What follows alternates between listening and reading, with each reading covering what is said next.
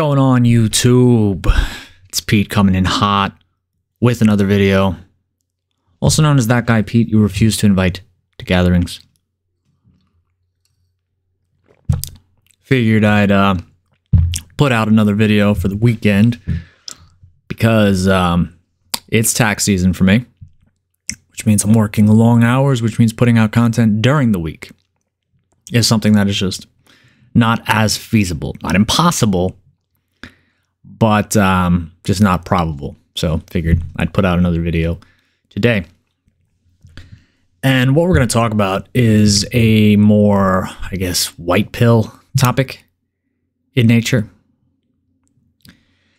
So, something we always talk about in the manosphere. We always talk about this idea of finding purpose. In particular, given the modern climate, finding purpose outside of box. Not doing all the things we do for the purpose of box and things like this, right? So, something that um, Stardust, shout out to Thinking Ape, always likes to say, and I tend to agree with this idea, is that life essentially is a cope. What do we mean by that? Well, as I see it, life is a cope in the sense that we do all the things that we do in life to deal with the fact that we are not immortal. And because we are not immortal, and we are going to die at some point, death, and by extension, I guess, Father Time. Perhaps they're going to come to the party together. Um, yeah, they're inviting you to your own gathering, your end. Given that that is an inevitability, we have to find a way to give our lives meaning in the interim, which is a form of cope, as some people would say.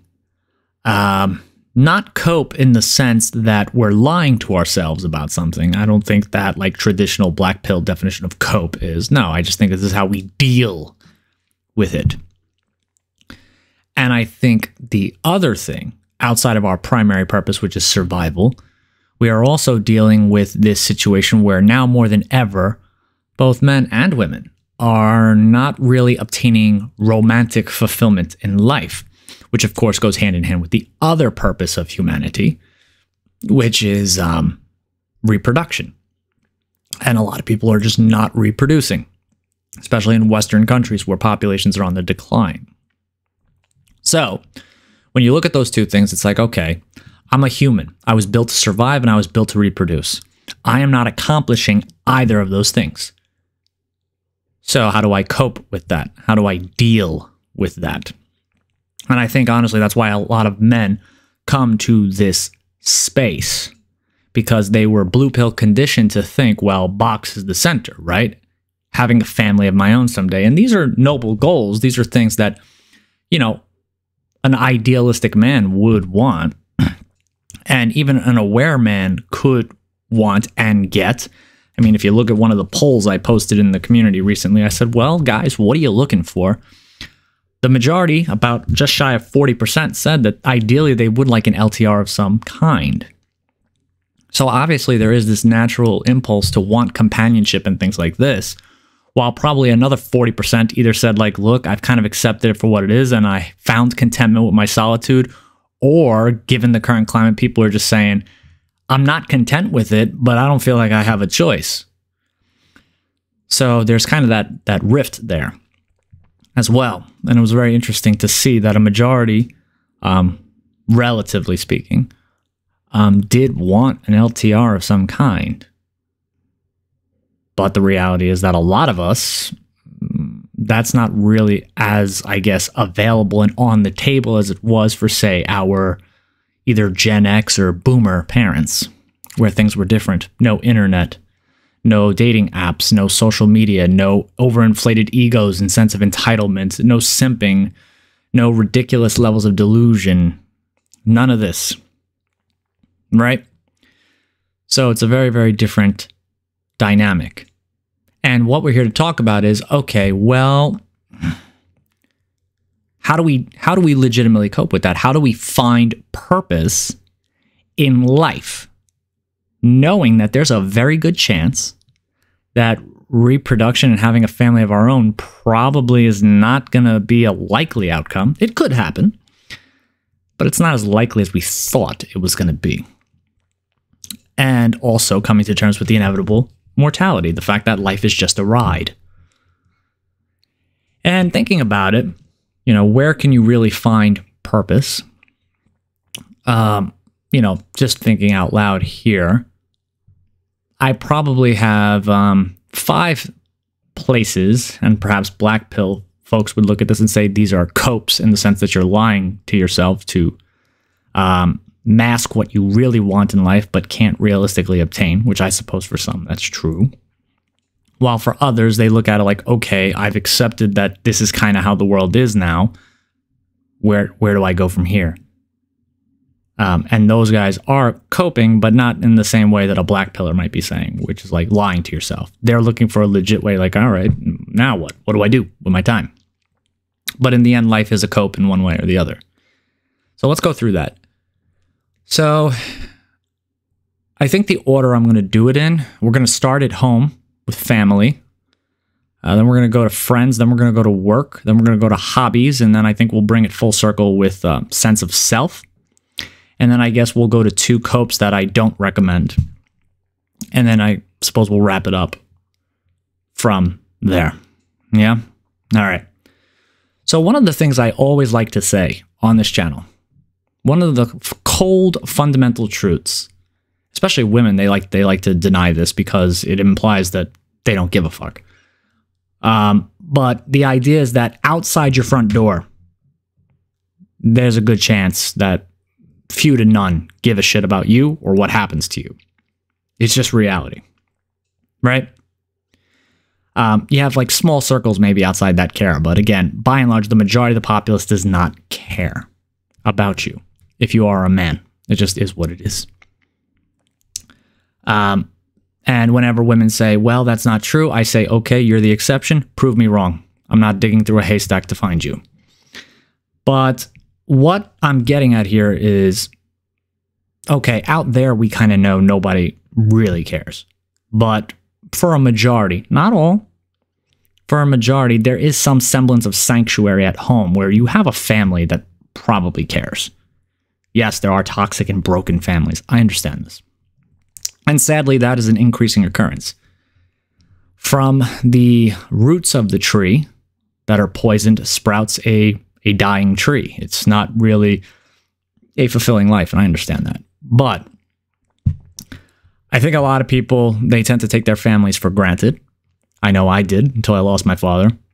But what I can tell you is that obviously family is very important, and it is one place in life where you can certainly find purpose because these are people who care about you.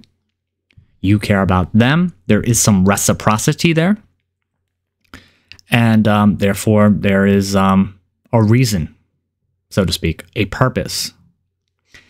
In my life, I have my mother and my stepfather. They live upstairs along with my special needs brother, and my dog, Oliver, is up there. Five blocks away is my other brother and his wife, along with their dog, Daisy. That's pretty much the full extent of my immediate family. There are other members of the family, like my stepdad's kids, who do stop by from time to time, and yeah, you know, I get on well enough with them, but they're a little bit more distant from me than the rest.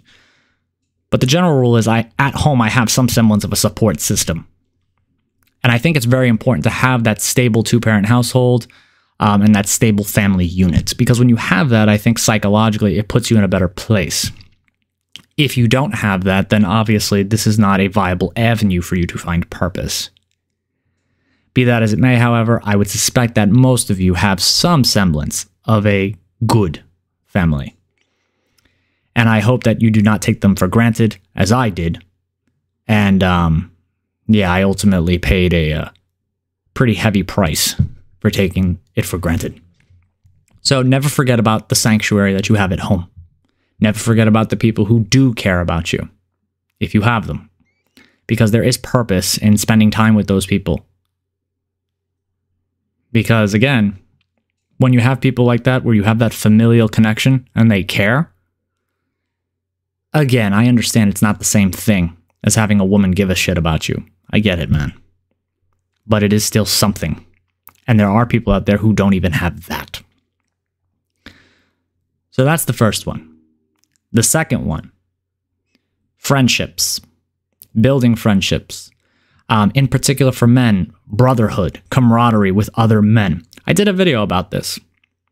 Men tend to be very idealistic um, in how they perceive their relationships with other people. So naturally, if you, a man, an idealist, are friends with another man, also an idealist, you both tend to approach the friendship in this idealistic way. And thus, you are more inclined to get this reciprocity as opposed to a friendship with a woman where, true, if neither of you are attracted to each other, you could have some sort of legitimate friendship there.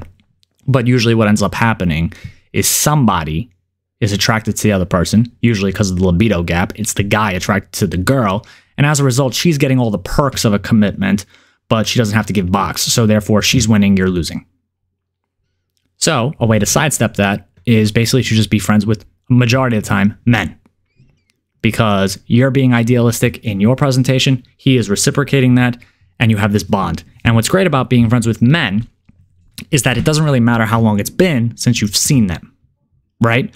When you see them again, it essentially is like you just talked to them yesterday. And of course, that is a beautiful thing. So, yes, this does require work on your part to go out and forge these friendships. And yes, online friendships are not the same as IRL friendships. But again, it could give your life a purpose beyond just the bare bones survival and reproduction that Mother Nature intended for you. So, yes, friends with your being friends with your fellow man obviously could give your life meaning and purpose that um, currently you believe you cannot find with a woman because of the current climate or whatever it may be. In the case of, you know, sub fives, perhaps it's just being incel and you have no choice. I get it. But being incel doesn't mean you can't have friends. So that's the second thing I would say. Okay? Now, the third thing where you find purpose is very cut and dry work. Now, the saying in life goes do what you love and love what you do. Are most people going to be absolutely in love with what they do? No. I would say realistically, you got to at least like what you do. You don't have to be madly in love with what you do, but you have to at least like what you do. For example, I am an accountant, specifically a certified public accountant. My job is to help people save money on their taxes and pay as little tax as possible while remaining within the bounds of the law. Right? That is essentially my job. And I extract great enjoyment out of helping people, helping them save money. Nothing is better than hearing that the joy in their voice, knowing that I can save them thousands of dollars in taxes, depending on their situation, or hundreds of dollars perhaps in smaller situations. It just depends. But the general gist is that when you work in your life professionally, right, that's like a third of your life is working you have to do something that you at least enjoy to some degree. Okay. So if there is something you're looking at that might be of interest to you, you have to realistically figure out how to work towards that and make it happen. Um, and I think men, again, as the idealists in life who kind of deal with helping society run and all that stuff um, in the professional sense, we kind of naturally just feel in our element when we're out and about working professionally and helping people. That's kind of our bread and butter, right? Going out and getting the bag. That's our thing. We we love climbing uh, ladders built on meritocracy. Um, we love reaching new milestones, striving for the next big thing. That's kind of what we do. So again, a big place where you can find purpose is in work. So obviously somebody who is NEET, which is not employed, educated, or in training, someone like that would probably have a very difficult time. Now, with those three laid out, probably the place where most men go to cope in reality. And again, some may disagree, and that's fine. But from what I have seen, a lot of men kind of, their families are kind of just there. Um, socialization isn't really what it used to be. And most guys don't really like what they do for a living. They just make the money to pay the bills. So, again, those three things are pretty much kind of crossed off their lists in their mind. Though I've already told you why you shouldn't take family for granted. You should obviously, you know, spend time with friends and things like this, and you should at least bare minimum like what you do. Right? Because if you like what you do, it gives you something to shoot for, and then you actually reach your goals and you become what you want to become, professionally speaking, at least. But again, for most people, that doesn't really cut it. So, what do they do? Well, they move to option number four. And option number four is hobbies. In Black Pill, we call it hobby maxing. I would say probably the most common form of hobby um, for men is video games. A lot of men play video games, myself included, though I do not play as much as I used to play. I used to play a lot more when I was younger and more blue pilled. Then you become a little more aware and you realize, all right, there's a bigger picture here. Um, not going to spend all my time plugged into video games. But unfortunately, there are a lot of men who are fully embracing things like the metaverse and all that stuff. And again, you could just get lost in there. And then the real world will just be rendered irrelevant to you. And all you'll be looking for is your next hit of virtual world, your dopamine hit, so to speak. So, obviously, hobbies, what you do on your free time, that's more auxiliary, but it does give you a sense of purpose you're doing something that you enjoy. The purpose is contentment. The purpose is enjoying the things that you do. Some people like playing video games. Some people like traveling around the world. Some people like playing sports. Some people like, I don't know, um, watching movies, going to um, Broadway shows, um, stand up comedy, whatever it is. Obviously, hobbies are going to serve as an excellent um, auxiliary element in your life that supports your work, which is what you're doing with another third of your life. So you figure you're working a third of your life, you're sleeping a third of your life, and then for the last third of your life, you're doing things that you enjoy. That's an ideal work life balance, right? So, obviously, hobbies is a big part of the life is cope. And as these um, these hobbies get more and more I guess, virtual and things like this, and escapism becomes more prevalent. It could go either way. It could go either way. I think ideally you probably want hobbies where you're doing stuff with your friends in the real world. Personally, that's what I think.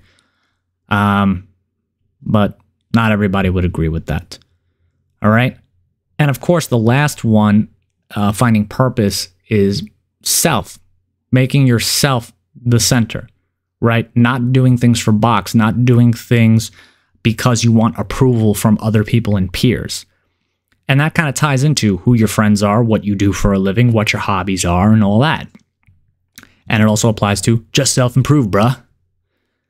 Again, I don't really care where you fall on the look scale or anything like that.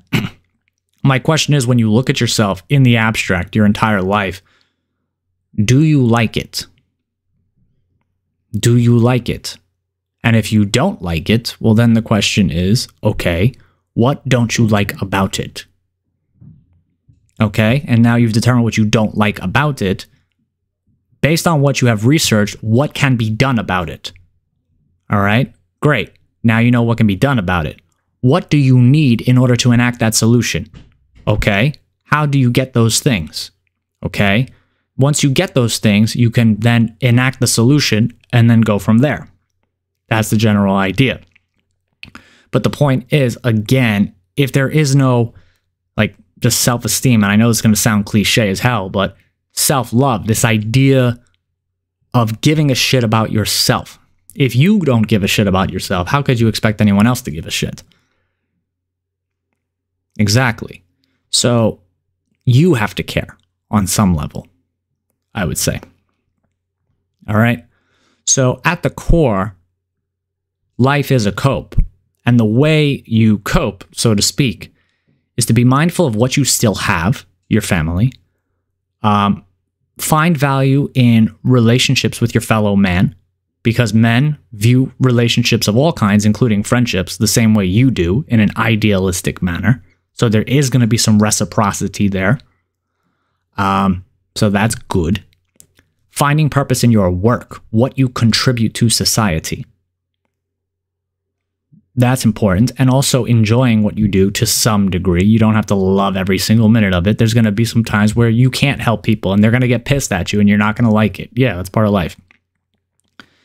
And of course, on your downtime, you find hobbies and things that you enjoy. And ideally, you have people that you can enjoy doing those hobbies with. And at the core of this all, the foundation is the self, right? So the self is very important. And you have to be able to find a sense of self worth in yourself by enacting solutions that you find to the things that you have issue with when it comes to yourself. So that pretty much covers the ways that um, we can find some semblance of purpose in life in the absence of box, in the absence of fulfilling our biological imperative in reproducing and having a family of our own. Remembering the family we already do have, remembering the friends we've made along the way, remembering all the accomplishments we've made up until this point, personally, and remembering the things that we enjoy, and most importantly, that we love the person from which all these things branch out, ourselves. But sometimes these things, these methods of coping can go awry. For example, addiction is a very big one. A lot of people deal with the brutal realities of life by abusing substances. I, as a recovering alcoholic of three years sober, uh, can vouch that this is indeed a way to cope. It's not a healthy one, it is very costly um, and you're basically destroying yourself physically within because you cannot get your psychological affairs in order. It's not really viable. So I don't really have much else to say about it. But at the end of the day, it is theoretically a way to cope. And the last one, of course, is ending it. Prematurely end the ride, which, of course, if you know the purpose of my channel, it is to stop men from doing that and help them find purpose outside of that, which is the whole point of this video in particular. Um, yeah, that is not a viable option from where I sit, though objectively speaking, I suppose it is, but not one that I endorse in any capacity. And I encourage anyone who is thinking about that to get help. Now, at the end of the day, when you look at all of this and you really think about it at its core, survival it's limited by your mortality, and reproduction is limited by your success with the opposite sex. That's just the way it is. And my advice would be, again, to find purpose in these other things that I've outlined and to just enjoy the ride for what it is, as it is, until either hockey mask time comes, until, uh, you know, until China and Russia go off the deep end and then that's going to drag us into some shit we don't want to deal with, or if Mother Nature just decides to wipe us all out with natural disasters. Whatever the outcome may be, as Bill Hicks would say, it's just a ride. It's just a ride. Don't take life too seriously. None of us get out alive anyway. Cliche is hell to say. I know, but it is facts be mindful of the people you have, be mindful of what you've already accomplished, and be mindful of what you enjoy doing. And find purpose and contentment in these things. And remember that you are the center, not box. Once you shift that focus to yourself, I suppose, um, I suppose um, someone who is Volcel probably would take the monk approach, while someone who is incel might take the androcentric approach, which is similar, except it's a little more involuntarily. That's not even proper English. It's more involuntary, um, at least in terms of the spark that set the chain of events in motion, so to speak. But the point is, you find enjoyment in life through other avenues should the traditional avenues not be available to you or you do not see them as viable. But I know, given the blue pill programming of all these years, it's a little difficult to imagine a life where you're not conforming to what Mother Nature intended for you and for what the social constructs of the blue pill beat into your skull since you were a child. I understand that. It's not easy to go against that grain, so to speak, and still find contentment, especially if you're someone like me who has seen a very, very powerful validational relationship in his life and he grew up under it. I get it. For those of you who came from broken relationships, perhaps it's a little bit easier to accept it. I cannot say for certain. Perhaps you feel disappointment knowing that that was the baseline for you. In either respect, it is what it is. And I think that's pretty much all I have to say about this idea of life being a cope. And as a man, finding purpose in life, finding reasons to improve your lot in life, whether you're talking your finances, your social life, your appearance, your, um, I don't know, your social skills in general, talking to people, whatever it may be, life skills, knowledge, and so on. Finding purpose in that without boxes the motivation, just for its own sake, for yourself, because you want to do that on your time, on your terms, your way. Yeah, it's kind of hard to imagine a life like that, thinking, um, considering that you were thinking the way you were in the past. Yeah, I get it. But I think that's all I have to say about the topic. Otherwise, once again, I risk rambling and not getting invited to those gatherings, right? So, yeah, feel free to leave a like. Feel free to leave a dislike. Call me an asshole. You disagree. Pete, I think you're a dick. You're coping in the black pill sense, and uh, your words are not helping me at all. In fact, you're demotivating me even more, you D bag. Go ahead and say that. It's cool, bro. Um, but whatever you do, don't report the video because it is helping somebody. And as long as it's helping somebody, it's worth it. Um, that being said, if you like what you're hearing, go ahead and hit that subscribe button. If you don't like what you're hearing, hey, this is not what I signed on for. I did give the intro video on the channel, so you know what you're getting from time to time. But hey, if it's like, hey, this is what I'm actually getting, shit, I didn't realize this is what I'm actually getting, go ahead and unsubscribe. It's all good, brother. I get it. As long as you get the help you need somewhere, that's fine with me. And um, yeah, stopping men from self deleting, that's always priority number one. And ladies, if you're watching, I hope you see what it's like to be men in modern times. The so called alleged uh, silent suffering that men are going through um, in regards to failing at reproduction. And it seems that you're catching up to us, though given the modern times.